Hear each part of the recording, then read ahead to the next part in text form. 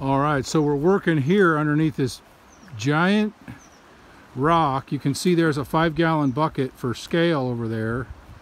We're working back behind here and we're prepping material so we can run it through the recirculating high banker and basically we're de-rocking. We're taking all the cobbles out.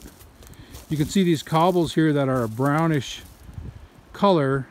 They're the ones that have come from over here and we're just taking out all the larger cobbles so we end up with the finer material that we can shovel onto the hopper. We have a big hopper classifier screen that's half inch so that everything half inch minus goes through there.